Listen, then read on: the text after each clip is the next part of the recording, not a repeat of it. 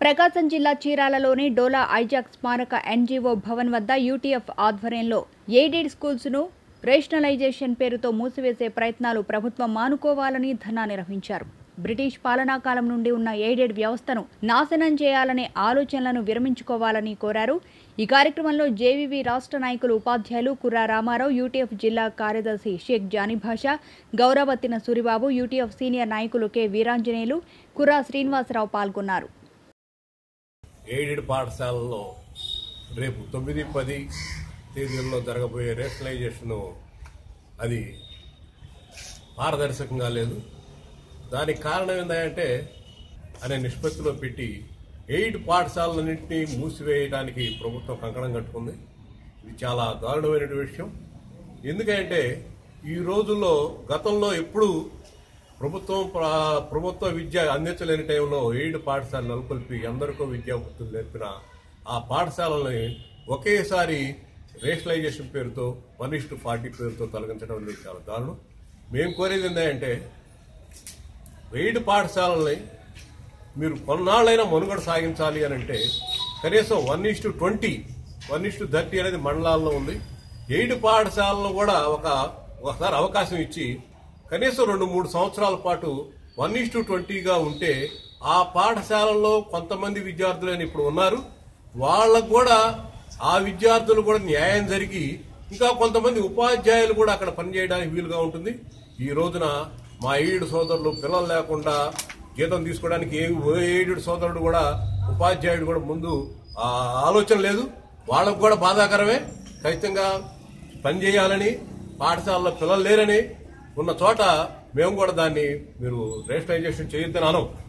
చేయండి. పిల్లలు లేని చోట జీతం తీసుకోవడం అనేది అది కరెక్ట్ కాదు. చేయండి. కానీ ఒక సిస్టమ్ ప్రకారం చేయండి. ఎలా అంటే ఈ రోజున ఒక యాభై మంది ఉన్నారు. ఆ పాఠశాలలో ఐదు తరగతులు చెప్పాలి ఐదు సబ్జెక్టులు చెప్పాలి.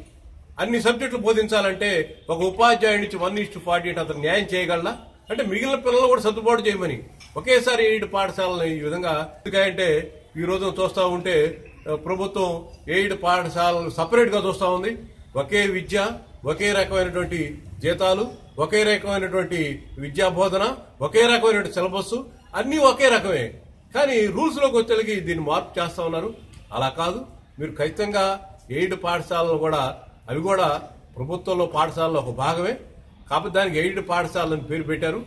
కాబట్టి ఇది కూడా ప్రభుత్వ విద్యను అందిస్తుంది కాబట్టి వీటిని ఒక్కసారి మీరు పునరాలోచించి మేము మా యూట్యూబ్ తరఫున మేమేం చెప్తున్నామంటే ఎయిడ్ పాఠశాలని కనీసం వన్ ఇస్టు ట్వంటీ ఇస్తే ఒక రెండు మూడు సంవత్సరాలు ఆ పాఠశాల అవకాశం ఉంది. సపోజ్ ఆ ఏరియాలో ఆ పాఠశాల లేకపోతే కొన్ని ఏరియాల్లో ఇక ఆ పిల్లలు అక్కడికి వెళ్ళడానికి ఇంకో చోటకి వెళ్ళడానికి కూడా లేని పరిస్థితులు కొన్ని చోట్ల ఉన్నాయి. ఇక్కడ ఐదు వందల పిల్లలున్నా గానీ వన్ ఇస్ టూ పార్టీ ప్రకారం చూస్తే పన్నెండు మంది కూడా టీచర్లని ఇక్కడ ఇవ్వట్లేదు. ఆ ప్ర- ఆ పే- ఆ రేషియోలో తీసి అందరినీ కూడా సర్ప్లస్ తెలిసి అసలు స్కూల్స్ మూసే. వన్ ఇస్ టు పార్టీ అదే మండలంలో అయితే మండలం స్కూల్స్ అయితే వన్ ఇస్ టు ట్వంటీలో ఉంటేనే స్కూల్ ఉంటుంది తీసేశారు. సభ ఇప్పుడు వన్ ఇస్ టు పార్టీ లోపు ఉంటే దాదాపు చీరాల్లో ఆరు స్కూల్స్ని మరి లేకుండా చేయడానికి ప్రభుత్వం నోటీసులు కూడా పంపడం జరిగింది. అది చాలా దారుణమైన విషయం. దీన్ని యూటీఎఫ్ పక్షాన మేము ఖండిస్తున్నాము. నలభై మంది కనీసం మరి వాళ్ళకి టైం ఇవ్వటమో లేకపోతే ఏదైనా చేయాలి కానీ వాళ్ళు టీచర్లను తీసేసి స్కూల్ మూసేయటం అనేది చాలా దారుణమైన విషయం. ఈ విషయంలో మరి ప్రభుత్వం అధికారులు జోక్యం చేసుకొని మరి దాన్ని కొద్ది సడలింపు చేసి కొంత మె- మెరుగైన ఒక సంవత్సరం పాటు టైం ఇవ్వటమో లేకపోతే వన్ ఇస్ టు థర్టీ ప్రకారము మరి ఆ రేషియోలో మా మండలాలు జడ్పీలు ఎలా చూస్తున్నారు? ఆ రేషియోలో చూసి అదే విధంగా కొనసాగించాలని వాళ్ళకొక న్యాయం మరి ఈ వ్యవస్థ అన్నాక మరి ఎడ్యుకేషన్ వ్యవస్థ అంటే అందరికీ ఓటే కానీ వాళ్ళకొక న్యాయం వీళ్ళకొక న్యాయం అనేది జరగకూడదు. ఇది చాలా దారుణమైన విషయం.